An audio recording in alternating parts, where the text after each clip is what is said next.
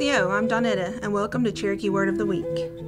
This week's word is Kanohetlaski. Ka no he ski.